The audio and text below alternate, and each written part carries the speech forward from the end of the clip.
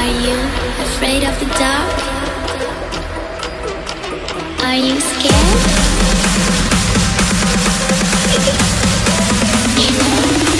I am you. Alright, everybody.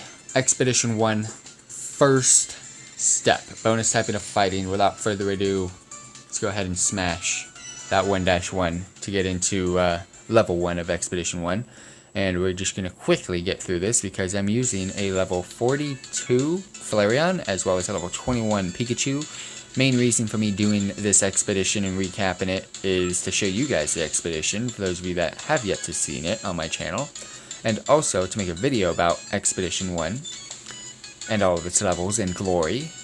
And the main reason is to farm cooking ingredients because I'm running low on those things and they're really important for me leveling up and continuing on with my Pokemon Quest adventures in order to get through Expedition 10, 9, 8, and 7.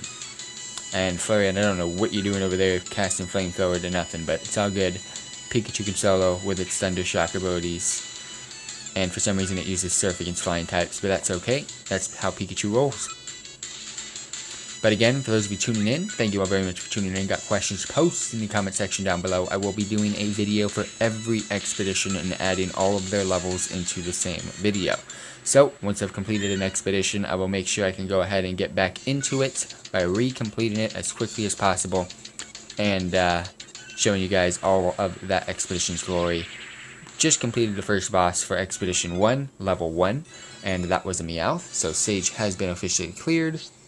Got some uh, cooking reagents, I hope. XP is going to be pretty much null onto this because my Pokemon are a little bit too high. But again, cooking ingredients in full, which is kind of what I'm here for. Next up, Expedition 1 Level 2, 650. Let's go ahead and get straight into this. Kind of forget, and it's also cool to go back to these expeditions, but I kind of forget what all the bosses were in these old school expeditions. Now, I don't even remember seeing a Caterpie back in the day, but anyways, it's all good. Flareon's gonna quickly squirm through these little guys because, well, she's a fire type and absolutely destroying them. I hope, even though Pikachu kind of destroyed the, the Weedle for you. But we're getting through this. Two cooking reagents already, and this, oh, it's, uh, it's just so, it's not fair. It's, it's just not fair. I'm, I'm using a level 42 Flareon, fam. This is just, this is not cool. Also, for those of you tuning in, this is Expedition 1. Even your starting Pokemon will get through these levels pretty damn quickly. It's kind of like a a start to your adventures. This game gets a lot more difficult, which is kind of why I'm back on Expedition 1, so I can quickly farm some cooking reagents while I am doing this. Uh, looks like boss number 2 is a Kakuna with a bunch of Caterpies. I don't really remember it being this difficult, but as you guys can see, once you have killed the actual boss for that level, there's no requirements onto killing the little small fries. So, that is another level done, and more cooking reagents in the bag. Next up, Expedition 1, level 3, 750 total. Uh, let's get to it. Again, cakewalk for me because my Pokemon are out leveling this expedition. Expedition start. Now, as you guys can see on the top right, this one actually has four different levels or four different uh, levels to clear within this level. Um, can I say level some more, fam? Uh, we've already got a cooking, two cooking reagents. Oh, damn. Flareon just hit nothing over here, but it's going to go ahead and chomp and get a little kill out of that.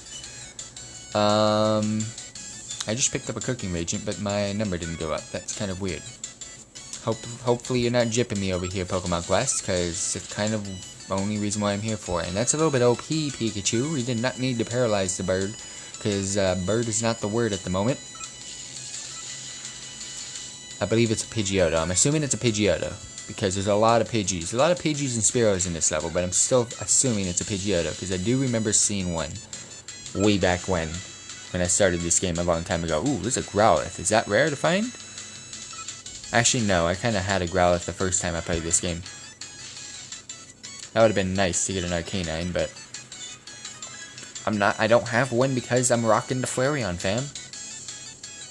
Even though Arcanine's better, I still like Flareon. I'm, I'm, that's how I roll.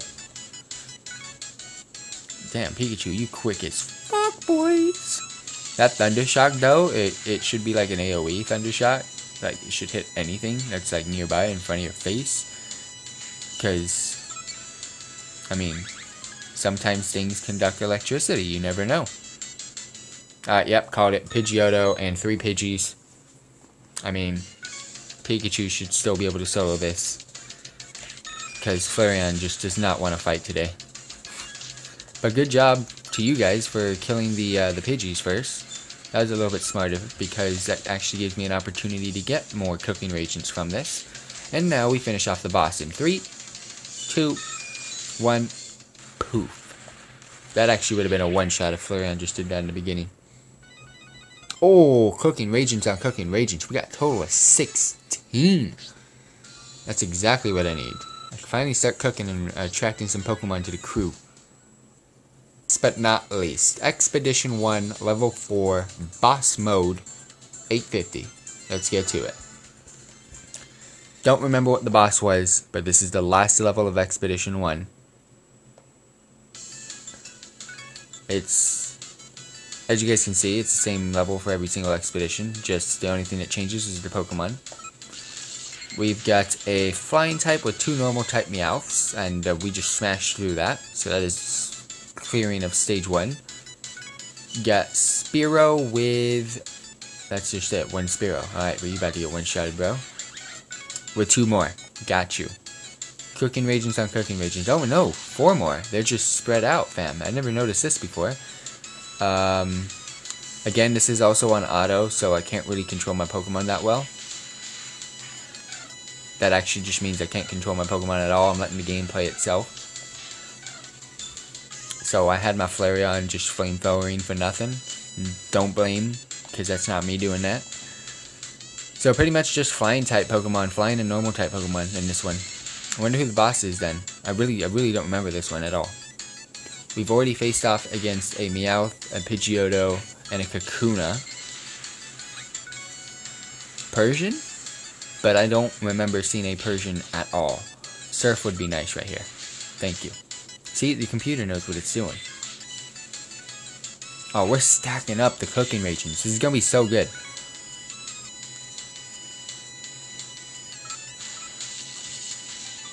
Oh, oh yeah, shit, I forgot. Gems are pointless to me right now.